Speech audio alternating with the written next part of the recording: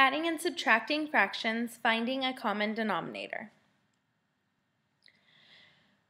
We have added and subtracted with the same denominator, but now we are going to have to find a common denominator. Common denominator means that we need to have the same number on the bottom of both numbers that we're either adding or subtracting. To find a common denominator, we are going to ask what number both denominators can go into. You always want to check to see if the smaller denominator can go into the larger denominator first. That way you're only going to have to change one fraction instead of changing both fractions. And exa uh, some examples of this, we have 1 fourth plus 7 twelfths. Notice that I have a 4 and a 12 on the denominator, in the denominator. When I add, I have to have the same number in the denominator. I can get the same number by multiplying both the top and the bottom, or both the numerator and the denominator, by the same number. So if you look at the denominators, 4 and 12, remember first we're going to ask ourselves, can the smaller number, 4, go into the larger number 12? Well, 4 does go into 12 perfectly because 4 times 3 is 12. So to change 1 fourth to have a denominator of 12, I need to multiply both the bottom or denominator and the top by 3. I do not have to change 7 twelfths in this case because um, I'm going to change 1 fourth to have a denominator of 12, so I don't need to change the denominator of 7 twelfths. Well, 1 times 3 is 3, and 4 times 3 is 12. So 1 fourth becomes 3 twelfths plus 7 twelfths. When you add fractions, remember you only add the numerators. Your denominator stays the same. So the denominator is going to stay 12, and 3 plus 7 is 10. So I have 10 twelfths. When we're dealing with fractions, we want to put our answer in simplest form. Notice that 10 and 12 are both even numbers, so we can divide both top and bottom by 2 to simplify it to 5 sixths. If you look at the next example, we have 2 fifths plus 5 sixths. We have a denominator of 5 and a denominator of 6. 5 does not fit into 6 perfectly, so we're going to have to change both fractions to get a common denominator. If you think about the multiples of 5, 5, 10, 15, 20, 25, 30, and think about what number, which of those numbers 6 can go into. 6 cannot go into 5, 10, 15, 20, or 25, but 6 can go into 30. So 30 is going to be my common denominator. What do you do to 5 to get 30 is you multiply by 6.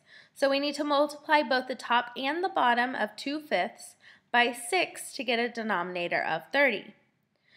Now ask yourself, what do you do to 6 to get a denominator to get 30? The answer would be multiply by 5. So now I have to multiply by 5 on top and bottom of 5 6. When you multiply, you get 12 fifths, uh, 12 over 30 plus 25 over 30. Remember, denominator stays the same. When you add your numerators, you get 37 over 30. This is an improper fraction because the larger number is on top. When we have an improper fraction, we need to change it to a mixed number. To do that, you divide 37 by 30. 30 goes into 37 one time, and you have 7 left over. So 1 becomes your whole number, and 7 was what was left over over 30. You cannot simplify 7 over 30, so this is your final answer. The next example is 3 fourths plus 1 sixth. Again, I always ask myself, can the smaller denominator 4 go into the larger denominator 6? The answer is no. So again, just like the last example, I'm going to have to change both uh, fractions to get a common denominator. If you think about the multiples of 4, we have 4, 8, 12, 16, 20, and so on. If you think about those multiples and ask yourself if 6 can go into it also. So 6 cannot go into 4, 6 cannot go into 8, but 6 can go into 12. So 12 is going to be my least common denominator, or the smallest denominator. What do we do to 4 to get 12? And the answer would be multiply by 3. Whatever we do to the bottom, we have to do to the top. What do you do to 6 to get 12? Is multiply by 2. Whatever you do to the bottom, you have to do to the top. When you do 3 times 3, you get 9 over 12 plus 1 times 2 is 2 over 6 times 2 is 12.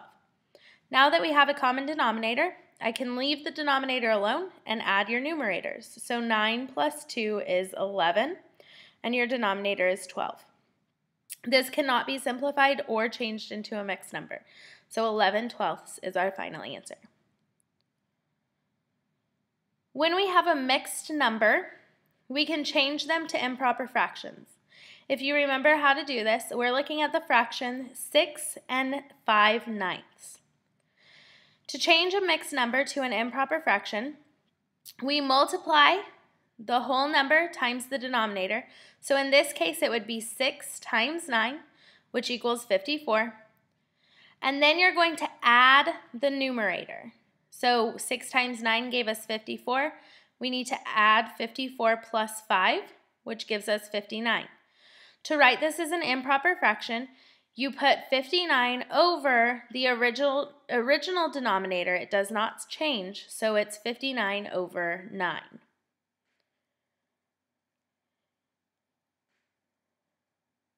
The next three examples, we have mixed numbers.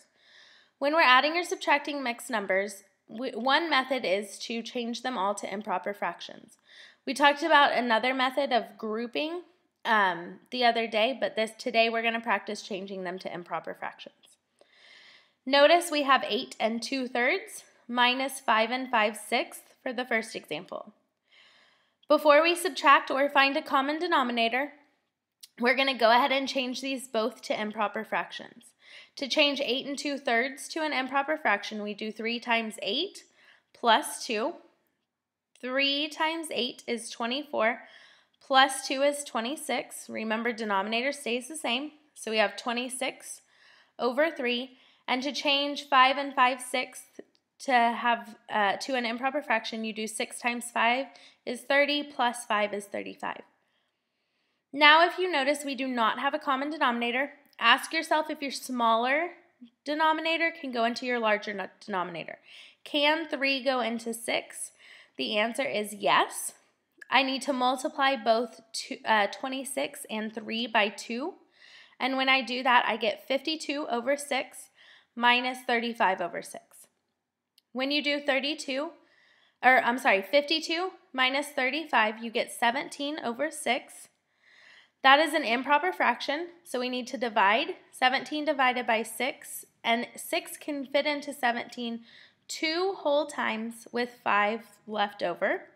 So I, my final answer is 2 and 5 sixths. Again, on the next example, I'm going to change these to improper fractions. To do that, I do 6 times 3, which is 18, plus 5, which is 23. Keep your denominator the same, which is 6, plus 4 times 2 is not, uh, 8, plus 1 is 9 over 4. Ask yourself if your smaller denominator can go into your larger denominator. 4 cannot go into 6, but if you think about the multiples of 6, we have 6 and then 12. 4 can go into 12. So we're going to change both of these fractions to have a denominator of 12. To change 23 over 6 to have a denominator of 12, we have to multiply by 2, and we get 46 over 12.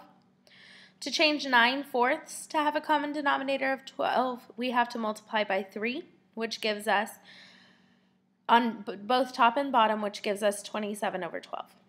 When we add these together, we get 73 over 12. Again, we have an improper fraction. We have to go ahead and divide. And when we work this out, we get 6 and 1 12.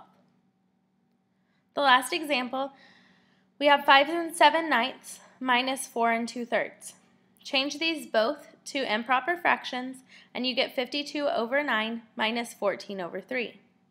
Ask yourself if your smaller denominator can go into your larger denominator. Can 3 go into, 12, uh, into 9? 3 can go into 9, so I just need to change 3, the uh, fraction 14 over 3, to have a denominator of 9, which I need to multiply both top and bottom by 3. When I do that, I get 52 over 9 minus 42 over 9. 52 minus 42 is 10 over 9. This is an improper fraction. I need to change it to a mixed number. 9 goes into 10 one whole time with 1 left over, so it's 1 and 1 ninth. Today's assignment is page 36, numbers 2 through 28 even.